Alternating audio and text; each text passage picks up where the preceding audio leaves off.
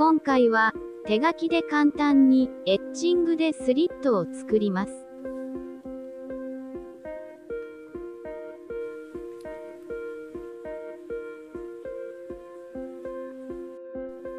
以前のリアバンパーを1ミリ延長しました。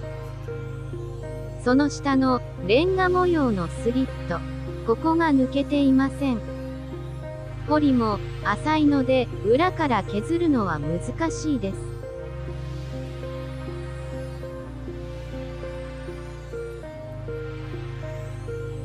せっかくなので久々にエッチングして作ってみます。厚さ 0.1mm の真鍮板を400番のペーパーで足付けします。片面に艶消し黒をまんべんなく拭きました。ホームセンターの虫ピンの頭を取り、タミヤのピンバイスにセットします。撮影すると薄く見えますが、しっかり黒くなっています。定規で毛がいていきます。1ミリくらいの同じ間隔で毛がきます。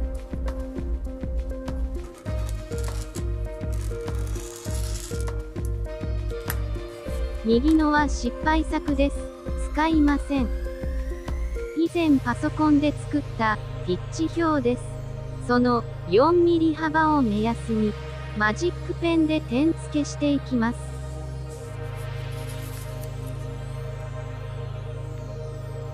一つ飛ばして同じように書いていきます。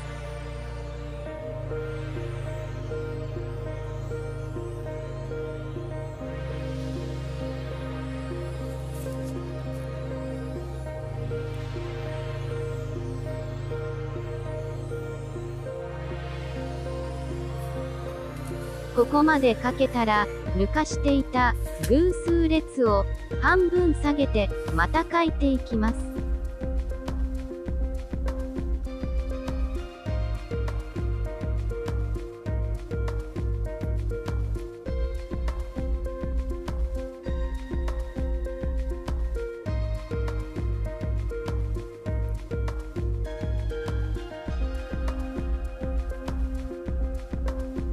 ベースができました。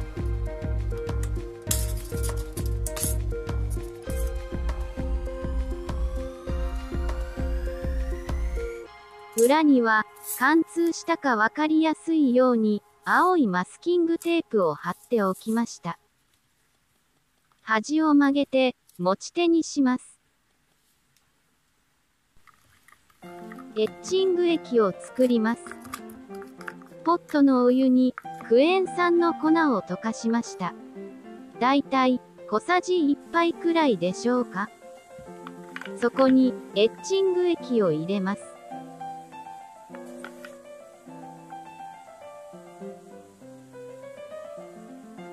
クエン酸液の3倍くらい入れました。エッチング液の完成です。もう一つ、エッチングを止める中和液も忘れずに用意しておきます。水に粉の重曹を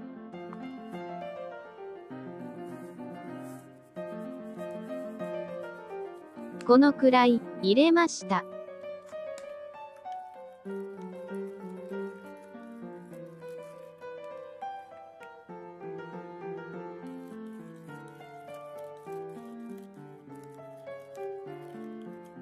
こちらは待機しておきます。お料理には使わない鍋に、お湯を沸騰させ、その中にエッチング液の入った容器を入れます。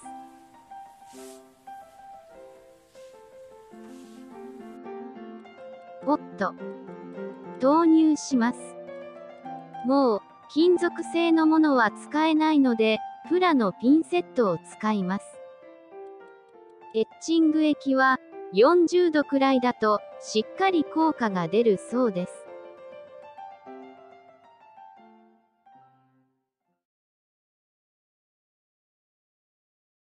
塗った色に異常はありません。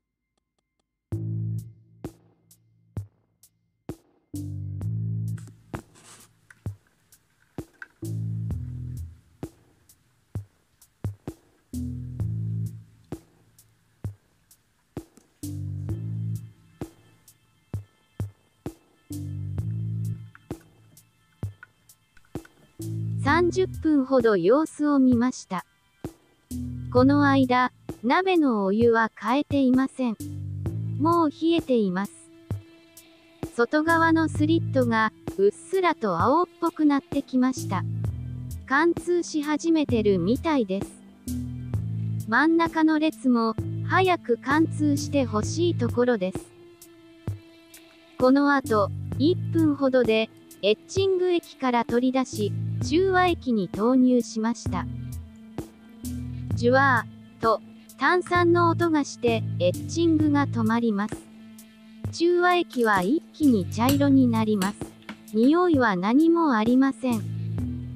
5分ぐらいつけておきました。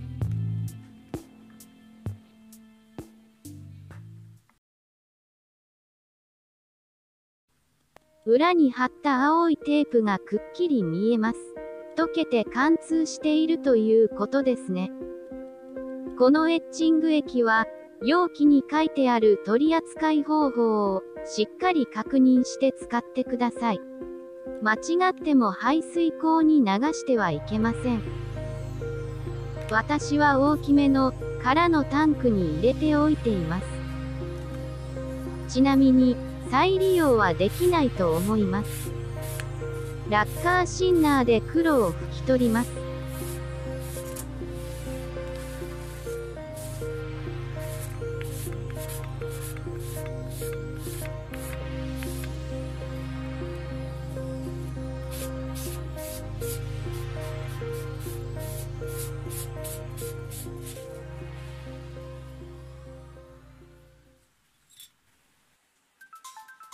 受けてくれました。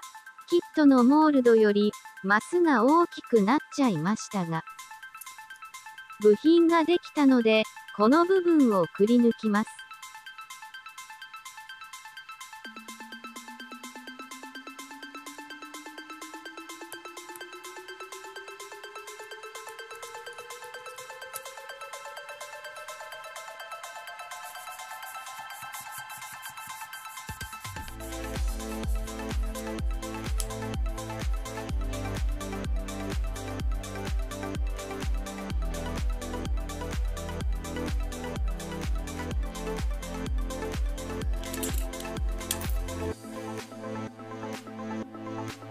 貼り付けてみます。裏からテープを貼ったのが良かったかもしれません。貼らないと裏面全体も溶け出してアルミホイル並みに薄くなっていたと思います。この後、もう1箇所だけトライしてます。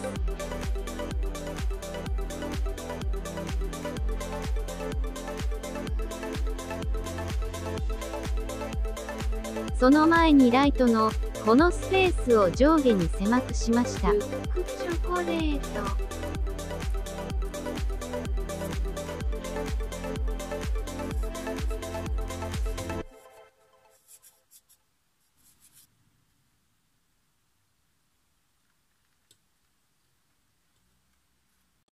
ここにつく 512BB のロゴですが、ここもエッチングしてみます。同じ容量ですが、厚さ 0.3mm を使います。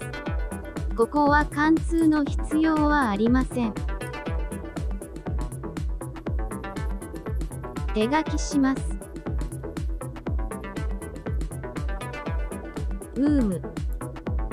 なんだかな、やり直し。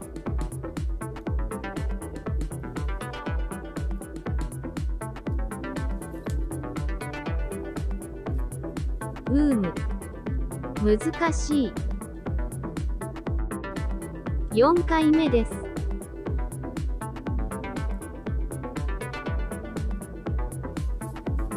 エッチングしました。グレーになっているところが溶けて、一段わずかにへこんでいます。この金属板は多分、洋白板かな銀色の手持ちの板でした。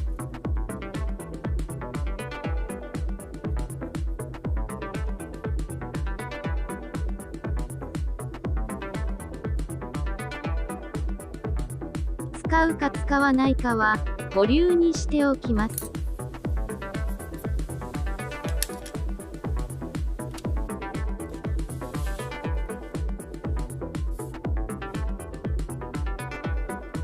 ギアの支え棒を作ります。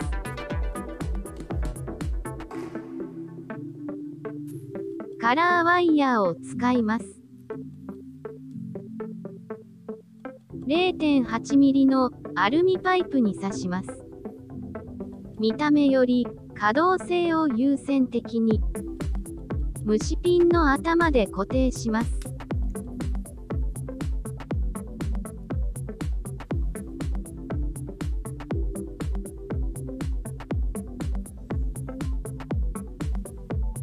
フレームのこの位置に取り付けてみます。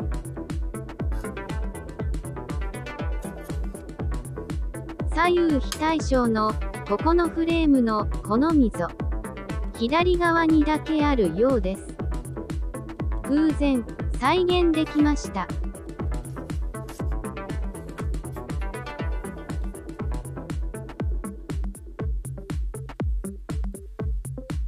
土台がスリットに当たるので L 型にしています。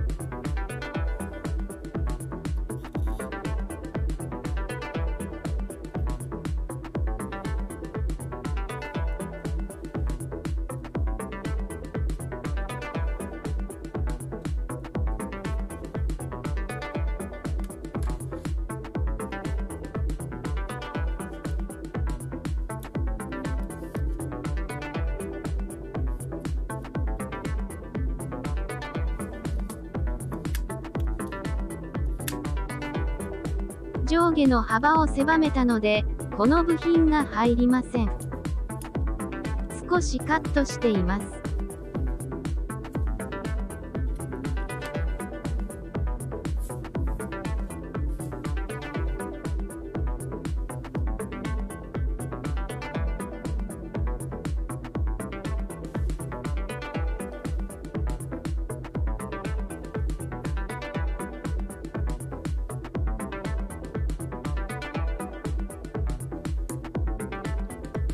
0.5ミリプラ板で5段のスリットを作りました。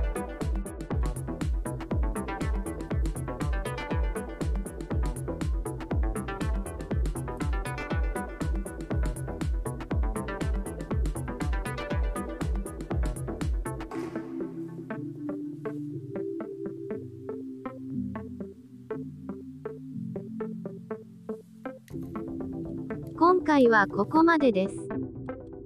ご視聴いただきありがとうございます。よろしければグッドボタン、コメント、チャンネル登録をぜひよろしくお願いいたします。